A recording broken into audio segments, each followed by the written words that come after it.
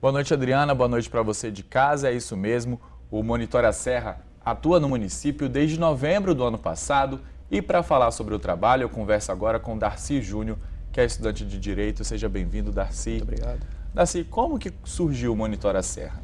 Bem, o Monitora Serra surgiu de um outro movimento chamado Movimento Empreendedor Cidadão, que atuava na Serra, na verdade, um grupo de empreendedores do município se juntavam para debater a cidade e questionar algumas, algumas coisas que aconteciam no município e a partir de um certo momento, saindo um pouco da crítica, entrando na prática, resolveu-se criar o Monitora Serra para atuar com foco no legislativo da cidade. Quem faz parte do grupo? É, nesse primeiro momento eram empreendedores da cidade e já a partir do lançamento do Monitora Serra, com essa pegada de fiscalização e acompanhamento legislativo, chegaram estudantes, chegaram trabalhadores no geral, então é uma atuação bem ampla de pessoas dos mais diversos setores. Né? Fala um pouquinho dessa atuação. Como é que vocês acompanham o trabalho da Câmara? Como é que vocês acompanham ali o trabalho dos órgãos né, do município? Certo. A gente trabalha focado na Câmara, com uma atuação mais direta no acompanhamento das sessões. Por exemplo, hoje a gente tem uma sessão, então lá tem no mínimo dois monitores acompanhando os trabalhos da casa. Além disso, a gente tem um aplicativo que, por enquanto, ele está funcionando internamente para os membros do grupo e no segundo semestre a gente vai disponibilizar esse, esse aplicativo para as pessoas, os cidadãos da Serra, poder avaliar os projetos que são apresentados na Câmara. Então, além desse aplicativo, a gente pensa em estender também a atuação com ranking avaliando a atuação de cada vereador. Então, hoje a gente acompanha cada sessão, a gente tem dois monitores presentes por sessão, é, também o relacionamento com o vereador, então às vezes tem um projeto que a gente acredita que pode ser mexido um pouco, mais ajustado, então a gente conversa com o vereador e também a partir do, do aplicativo onde os membros avaliam a, a, atuação. Quem faz parte, né, quem participa das sessões, como é que dá o retorno para o grupo, como é que vocês dialogam depois é, da participação desses membros nas sessões certo. da Câmara da Serra? Os membros, os, os, monitores que estão presentes na, na sessão, eles costumam ir comunicando ao, ao, aos demais membros do grupo o que está acontecendo, o que foi apresentado, às vezes alguma questão regimental também, como a ausência de tantos vereadores, a presença de tantos. Então, a partir do grupo de WhatsApp, até bem direto, eles vão comunicando e informando. Se houver alguma questão, alguma, alguma informação de maior relevância, a gente foca nisso e conversa aprofundando para buscar uma solução ou um posicionamento a partir de cada coisa e cada fato que acontece ali no ambiente da sessão legislativa e da Câmara no todo. Né? É um momento bem propício, né? A gente está aí às vésperas da, das eleições. Como é que vocês, qual a importância que vocês veem de acompanhar mesmo aí o, legislativo né, do município? A gente pensa que uma vez que o vereador foi eleito e está com mandato como vereador, a gente não pode afastá-lo de alguma forma quando ele produz mal.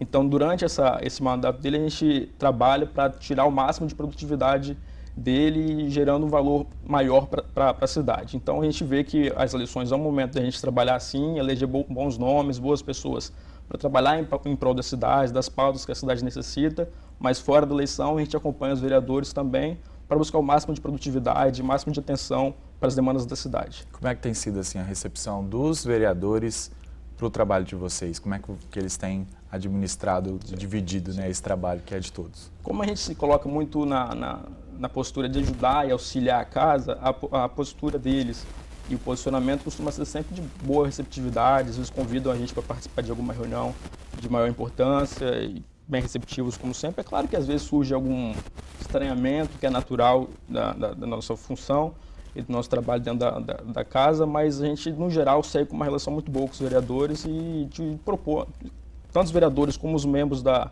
do Monitor da Serra, propondo melhorias e formas da cidade se desenvolver. Mesmo estando aí junto né, dos vereadores, acompanhando, os membros não têm participação política ativa, né? não, né? não, não. são ligadas a, não, a nenhum partido? Explica não. isso para a gente. A gente fala que não tem nenhuma participação eleitoral, de, de política acaba sendo, porque é o, é o cidadão sim se colocando na política, acompanhando o desenvolvimento da sociedade, mas nada eleitoral ou partidária. A única coisa que une todos os membros é o desejo em comum do desenvolvimento da cidade, de tornar a Serra um lugar melhor para se viver, para se empreender, para trabalhar melhorar o cenário geral da cidade. Então não existe nenhuma relação com partido, com militância política ou nada disso.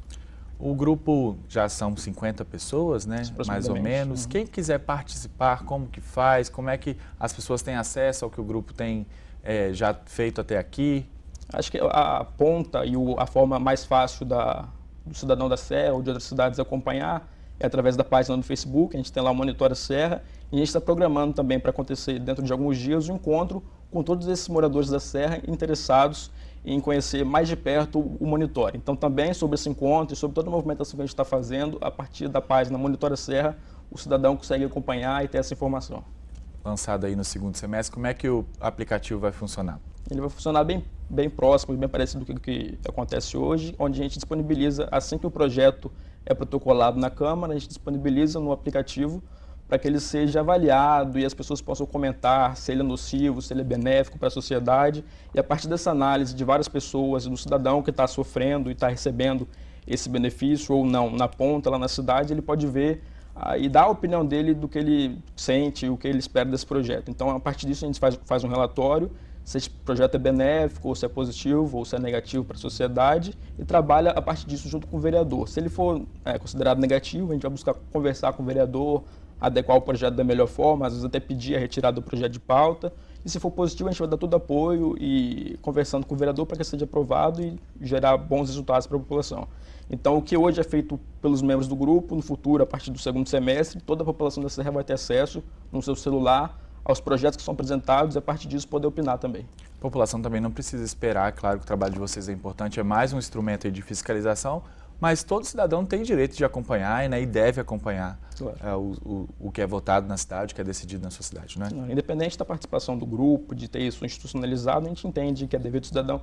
Às vezes até surge a pergunta, por que vocês não fiscalizam o executivo? Porque a gente entende que a função constitucional e que se espera de fiscalizar o executivo é o legislativo. Então acaba sendo fiscalizando o legislativo e o executivo, a população precisa fiscalizar o legislativo para não ser um poder que tem uma carta branca de atuação independente da participação da população. Então é muito importante que a gente participe fiscalizando, acompanhando como a gente tem feito no Monitoring Serra e outros grupos ao redor do Estado para ter essa melhor produtividade, essa melhor produção do Legislativo Municipal.